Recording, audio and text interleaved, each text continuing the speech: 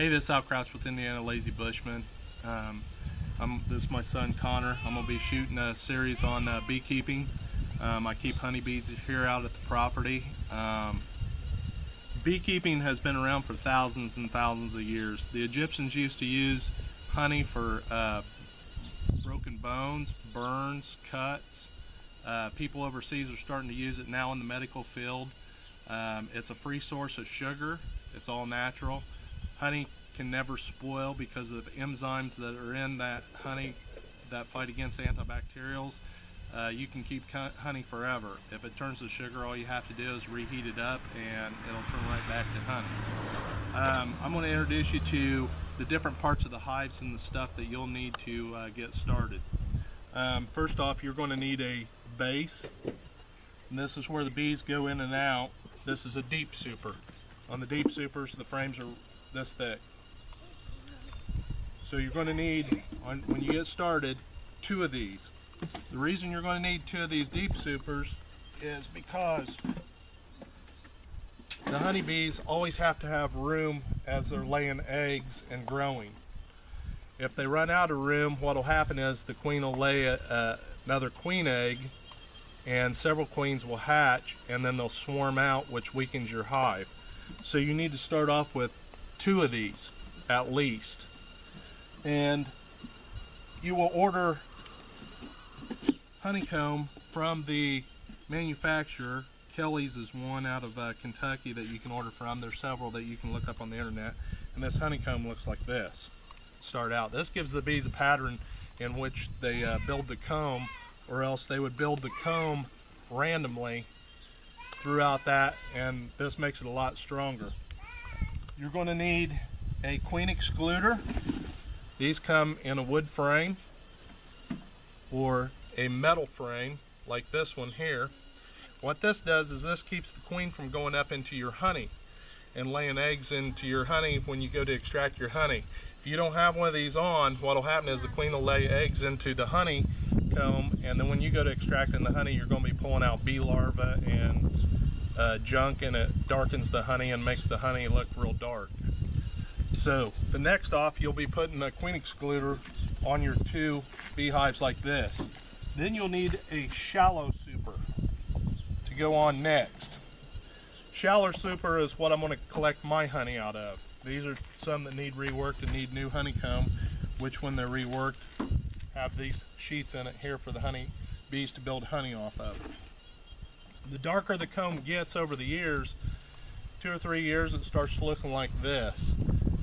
When you extract your honey out of that, the honey will be a lot darker. When you have this type of comb in here, the comb, when the bees build off of, your honey will come out crystal clear, almost looks like water when it comes out. The reason that you use a shallow super is because when the, this is full of honey, this is 50 pounds. Now, I've seen beekeepers use the deep supers before, and some beekeepers like to use it, but you're going to have 100 pounds of honey you're going to have to deal with when you're extracting that to carry around. The next thing you guys will need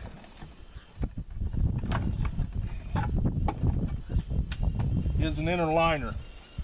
This goes onto the top of it to keep your honey from uh, getting built all over the top of your super for your top, which goes on next.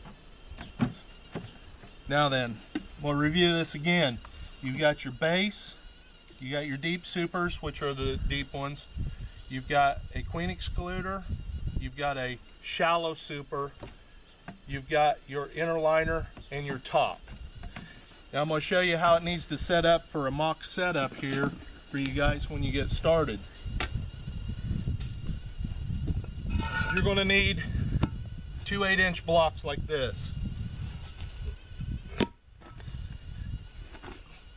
When you set this up, you want to make sure that you level it out. If, if a beehive is not level, the bees will build the honey on whichever side it is to keep this hive from tipping over. That's the way the bees do.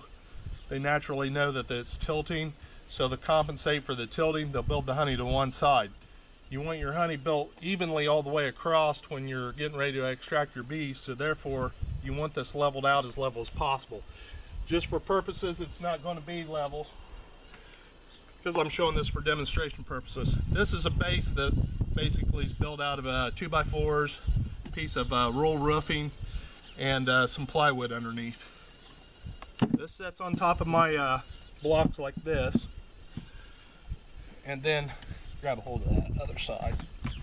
Go all the way down. Slide it up there. Okay, set it down. It's going to look like this when it's done. Ready to use.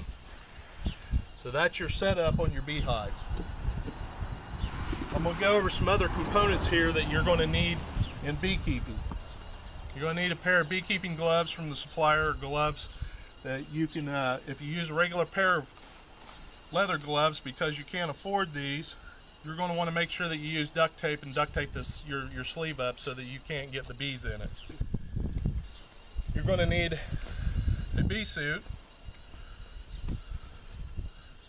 at least this top part here like this. This keeps the bees out. Uh, I've seen videos where some beekeepers, they actually go out there without any of this stuff on and they work with their bees like that.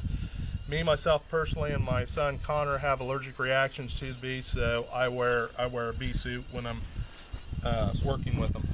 I also wear an outer suit. This is just for extra protection. Then you'll need a smoker. I not, don't necessarily use the smoker until I extract off. What the smoker is used for is when you want to calm the bees down with the smoke. When you spray the smoke down in the bottom of your hive here, the smoke rises up in between and the bees will gorge themselves with honey and the other and the other half of the bees will start fanning the hive to clear the smoke out of the hive so that when you open up your top you don't have a swarm of bees coming out and attacking you. The more you work with them the less they come flying out and want to try to attack you and sting you. If you can't afford one, I picked this one up for three bucks. This still works. I, I picked this up at a thrift store, old antique store. They've got them in antique and thrift stores, and you can pick them up for three to five bucks. You buy one brand new. This is a stainless steel model that I own. You're going to pay 30 $35 for one. Then you need some kind of tool because the bees will seal every little crack in there. So if you're wanting to get up underneath there after you pop your top off, lots of times, you're going to have to take this tool and insert in to pop up because the bees will seal every little crack up with their glue. And then you're going to need, hand me that burlap over there. You're going to need burlap. You'll cut shreds of burlap off and put in here for your smoker. You want to use burlap, 100% cotton. You, you, don't use anything but the two because if you do, you can poison your bees. Uh, some of the some of the clothing and some of the cloth and stuff have chemical treatments on them and if you use that in here and spray it in here you can poison your bees. Burlap burns the best. It burns slow. You can get it at your uh, um, where they keep horse supplies. Lots of times they'll sell old potato bags and onion bags and things like that. And I also keep a brush on hand you'll have sugar ants that get up inside your hive sometimes and you got to keep them brushed off and sometimes you have to treat your hive for the sugar ants to get rid of them so uh, there's all your components that you need to start a beehive with. And a lot of this stuff, if you look online, you can find it used. If you can't find it used, you're going to end up with about $350 to start off with, with one hive. One hive I've seen produce as much as three, 400 pounds of honey uh, at one time with a beekeeper that I, I kept bees with. I've had mine produce anywhere from 100 to uh, 200 pounds of honey off of uh, just one hive. But your first year, you're not going to get any honey off of it because they're going to be busy building their hive and laying eggs and building the colony and making the colony stronger. So that's uh, what you need for beekeeping. Um, one other thing I haven't covered is you'll want to get some wire to run down here, wire mesh. Big enough the bees can get through in and out and I'll show you that when I put a super on another hive. I've already got the wire mesh put on here. What that does is it keeps mice from going in there. I call that a mouse guard. You put you can cut your own out to put on here and I'll get you a close up of one of my other hives that I've already got this on to.